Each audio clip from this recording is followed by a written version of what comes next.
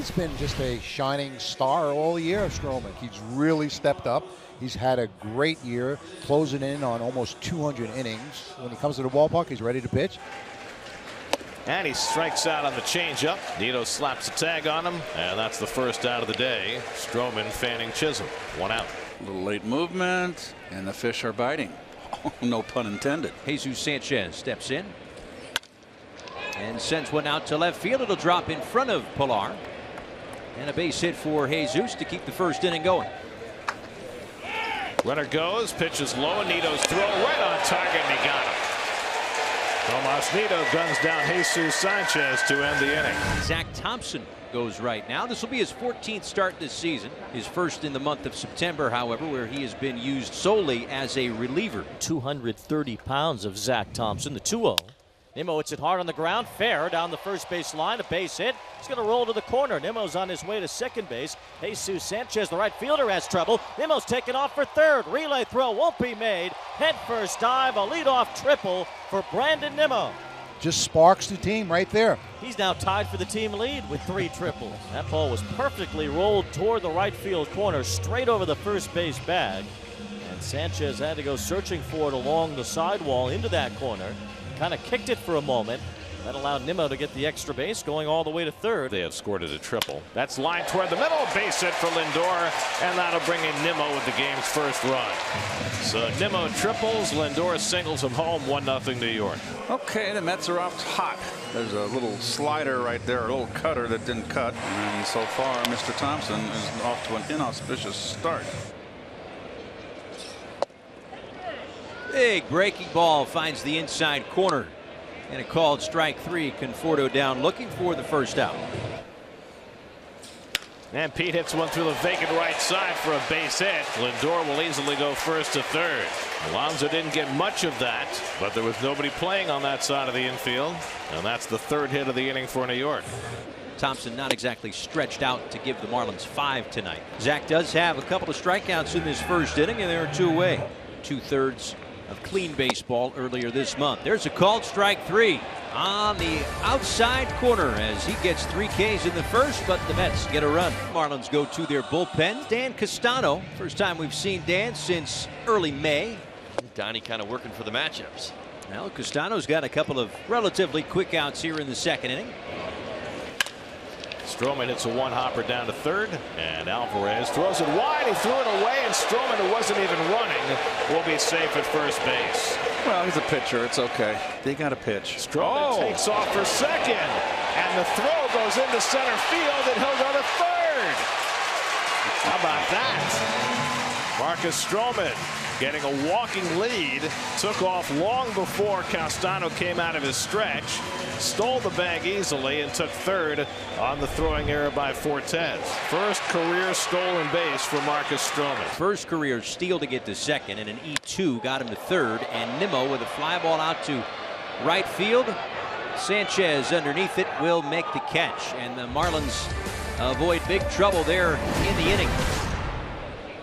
1 1 pitch to Jazz, and he lays down the bunt. This one up the third base line. Stroman's throw is late, and Jazz beats it out. Marlins have him on the corners with one away. Jazz lays down a fantastic bunt. So we've had two good bunts and a walk, and you got runners on the corners in the middle of your lineup coming up.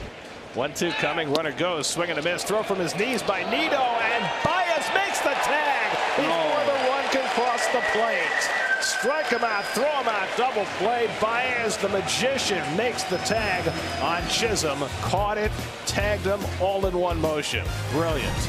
And that's how athletic he is. Tremendous foot speed, hand speed, baseball instincts. Lindor out to center, racing in. Sierra makes a sliding catch in center field. Spectacular play from Magneuris for the first out here in the third. Conforto at first with two out. That's ripped into center field. A base hit for Baez. So Javi continues to produce the hits. He now has an 11 game hitting streak and a 20 game on base streak. That's looped into right field coming in quickly. Sanchez diving. He can't make the catch. In to score comes Conforto. On to third goes Baez. A bloop single for Villar to drive in a run, it's 2 0 New York. Sanchez got a bit of a late break on that ball. He could not make up as much ground as Sierra did on his play earlier in the inning, and he came up a little short. There goes Villar. The throw is well offline from Fortes, and Villar walks into second base.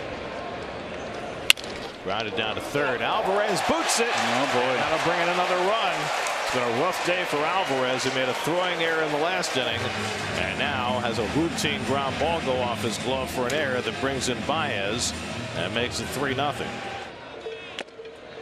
Fortes held onto it. Bat went flying. The inning is over. Lewin Diaz ground down to first. His first time up.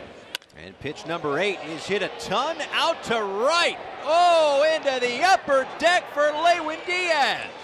A big two-run shot, and it gets the Marlins right back in the game. Gaining momentum as this at bat goes on, had seen the entire arsenal. Well, he got a hanging splitter on the eighth pitch of this at bat, and he goes upper tank.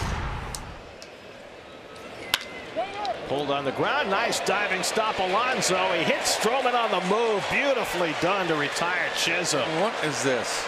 And a little piggyback ride at the end. Quite a play by Alonso. Good job by Stroman getting over there and a good throw. Well, nice play by Pete. And I got no comment on the theatrics after. So one out now, Pete Alonso. Pete is single to right and fouled out. And that's hit hard toward the whole base hit. And Alonso has his second hit of the night. This one a scorcher by a diving Alvarez for his Ah. second hit. Toward the hole. That's a base hit for Baez. So back-to-back base hits for Alonso and Baez to put two men aboard in the fifth. Nido the batter with the bases loaded and two out. Pops one two. Swing and a miss for strike three. A huge strikeout to leave the bases loaded and keep this a one-run game. And Seth Lugo on to pitch for the Mets as we go to the sixth. Swing and a miss, and Sanchez down on strikes. Lugo blows a fastball by him for the first out. Again, the 2 2 to Fortes. And he struck him out with high heat. So Lugo with an impressive inning gets the side out 1 2 3 with a couple of strikeouts. So one out and one on, and now Francisco Lindor. And that's driven to deep left field. Forget that. Lindor started this game with an RBI single and gives the Mets insurance with a two-run homer. 19th home run of the year for Lindor. His second in two games. And now the Mets have some breathing room. It's 5 to 2 New York. Just his fifth home run as a right-hand batter. And there was no doubt about it. Edwin Diaz on to try for his 31st save of the year. Alvarez, a comebacker and a strikeout, and he goes down swinging. So six pitches, two outs for Diaz. One two coming. He struck him out, and the ball game is over. A one, two, three, seventh for Diaz, and the Mets snap a five-game losing streak as they take the opener of the doubleheader from the Marlins, five to two.